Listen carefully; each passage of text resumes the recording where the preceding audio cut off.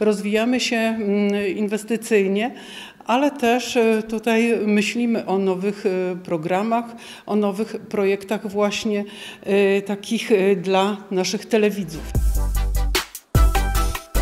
Nowości to od czerwca jesteśmy bardziej nowocześni, bardziej wirtualni. Wirtualne studio jest kolorowe, jest piękne, przede wszystkim widać bardziej nas. I to jest takie clue.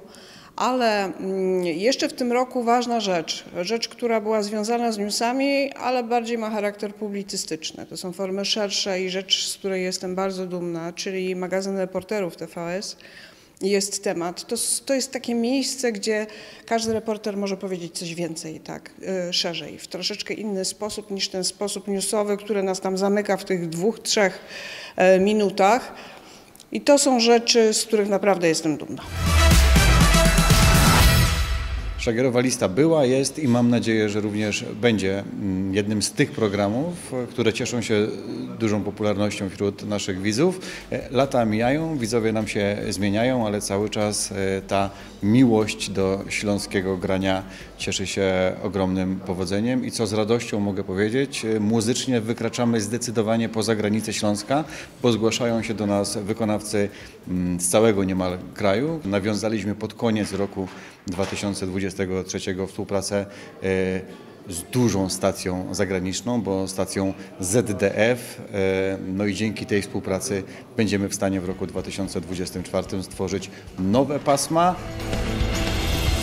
Ten rok był takim rokiem troszeczkę oddechu po pandemii, że mogli przychodzić goście, że można było prowadzić rozmowy, a do programu Kierunek Zdrowie tu muszę e, powiedzieć z wielką dumą przychodzą najwybitniejsze medyczne sławy, e, profesorowie, szefowie towarzystw medycznych polskich i europejskich e, i dzielą się wiedzą, która nam jest naprawdę bardzo potrzebna, taka rzetelna, uczciwa wiedza.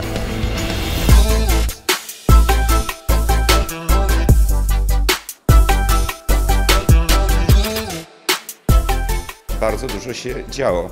Uruchomiliśmy nasze studio wirtualne, e, świetny nabytek, który pozwala robić nowoczesne e, programy. E, Telewizja oczywiście jest coraz bardziej, coraz częściej oglądana. Nasze słupki oglądalności idą do góry, więc ja nie mogę narzekać. Cieszę się i cieszę się również, że nikt nie wyłączał naszej telewizji, dlatego że jesteśmy telewizją neutralną, która przynosi i radość, i rozrywkę, i neutralne newsy.